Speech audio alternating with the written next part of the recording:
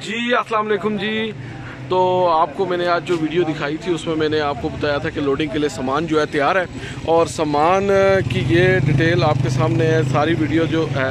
अब जो हमारा आउट ऑफ़ सिटी सामान होता है और दूसरे शहरों में हम भेजते हैं, उसकी पैकिंग का मैार जो है, वो तकरीबन इस तरह का होता है।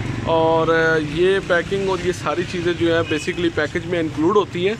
तो इस तरह पैकिंग करके, हर चीज़ को फिक्स करके और बेहतर करके जो है हम देखते हैं। ये थोड़ा सा करीब करके आपको दिखाएँगे। और चेक करें। बेड को भी थोड़ा सा आप करीब करके दिखाएँ। बेड किधर है? ड्रेसिंग किधर है? और इसी तरह आगे कंसोल डाइनिंग टेबल ये सारी चीज़ें दिखाएँ। और वापस बाकी चीज़ें जो है वो साफ़ साफ़ लोड हो रही है। और चेक कर रहे हैं। इधर लेके आए। यहाँ आए। इसी तरह ये जो सामान है बाकी सारा पैक होगा रैप होगा रैप होके इस तरह लोड हो रहा है।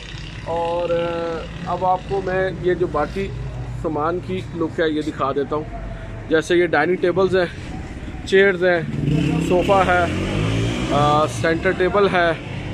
और इसी तरह ये सामान हमारा जो है सारा वो फिट हो रहा है। तो ये इस वक्त जो है, ये ट्रक और ये सामान जो है, ये जा रहा है डस्का, सियालकोट डस्का।